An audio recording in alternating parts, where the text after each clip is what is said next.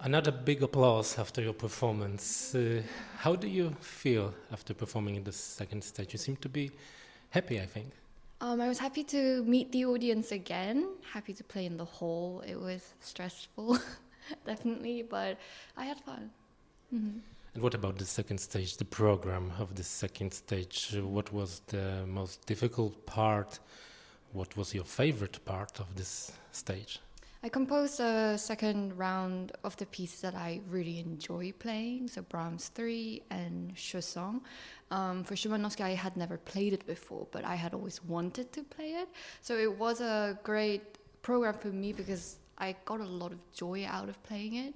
So, yes, it's, it's a competition, but still, I had a lot of fun. so, what can you say about Szymanowski, your new piece in your in your repertoire. Yes, it's quite new in my repertoire, and I'm very excited to program it in my concerts in the coming seasons and kind of just go into it a little more than now. And uh, what did you discover in his musical language?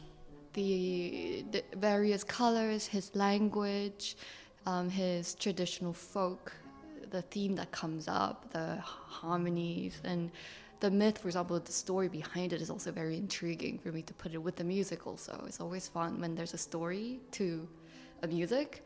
So yes. And this is not the end of the second stage. We still have to perform Mozart. I know. still, uh, we're only half done. So yes, I need to go practice now.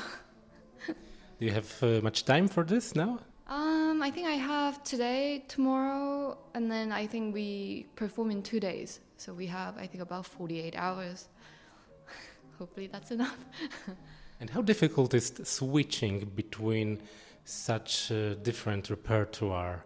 From Beethoven to Szymanowski, from Brahms to Chausson, from Chausson to Mozart. How do you cope with it? Uh, it's definitely not easy, but I think it takes a lot of uh, practice like mental practice also just getting your mindset into the right frame to play these pieces. So i think that's i'm still training to do that I'm still working on it.